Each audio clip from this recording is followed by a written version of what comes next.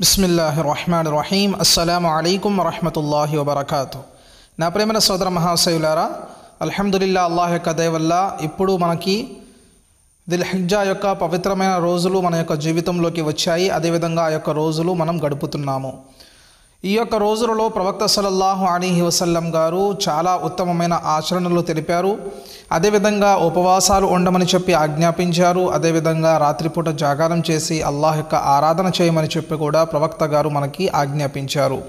దీనివల్ల మనకి ఎన్నో మరెన్నో లాభాలు కలిగే ఒక అవకాశాలు ఉన్నాయి. ఎవరైతే ఒక ఉపవాసం ఉంటారో వాళ్ళకి ఒక్క సంవత్సరం ఉపవాసం ఉన్నంత పుణ్యం దక్కుతుంది అని చెప్పి ఉపవాసం గురించి అదేవిధంగా ఎవరైతే ఒక్క రాత్రి జాగారం చేస్తారో వాళ్ళకి షబే కదర్ యొక్క దినం ఆ షబే కదర్ యొక్క రాత్రి వాళ్ళు ఇబాదత్ చేస్తే అల్లాహకి ఆరాధన చేస్తే ఎంత పుణ్యం అయితే దక్కుతుందో అంత పుణ్యం దక్కే ఒక అవకాశాన్ని ప్రవక్త గారు మనకి చెప్పడం జరిగింది. నా ప్రేమైన సోదర మహాశివులారా అందుకని ఈ పవిత్రమైన పది రోజులు పండగ పది రోజులు ఏదైతే ఉన్నాయో ఈ పది రోజులు కూడా మనం పవిత్రంగా గడపడానికి ప్రయత్నిద్దాము. నా ప్రేమ సోదర మహాశయులారా ఈరోజు నేను మీ అందరికీ ఒక ముఖ్యమైన విషయం చెప్పదలుచుకుంటున్నాను.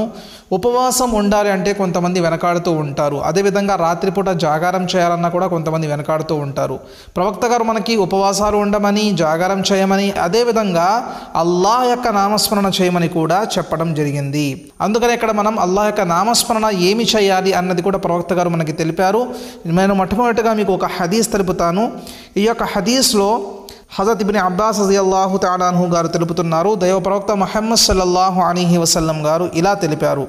అల్లాహు తాలాకి దిల్హిజ్జా యొక్క రోజులు చాలా ఉత్తమమైనవి చాలా పవిత్రమైనవి. ఈ రోజుల్లో ఎవరైతే అల్లాహ్ యొక్క ఆరాధనలు చేస్తారో వాళ్ళ యొక్క ఆరాధనని అల్లాహు తాలా చాలా ఎక్కువగా ఇష్టపడతారు.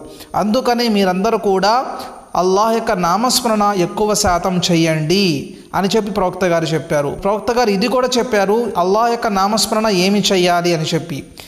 అల్లా యొక్క నామస్మరణ ఏమి చేయాలంటే సుబ్హాన్ అల్లాహ్ అల్హమ్దుల్లాహ్ లా ఇలాహ ఇల్లల్లాహ్ అల్లాహు అక్బర్.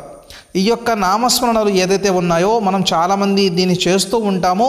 కానీ ఈ పవిత్రమైన పది రోజులలో పండగ పది రోజులలో మనం ఈ యొక్క నామస్మరణ చేస్తే లెక్కలేనన్ని లాభాలు మనం సంపాదించుకోవచ్చు. అందుకనే ప్రతి ఒక్కరు కూడా యొక్క విషయాన్ని గమనించండి.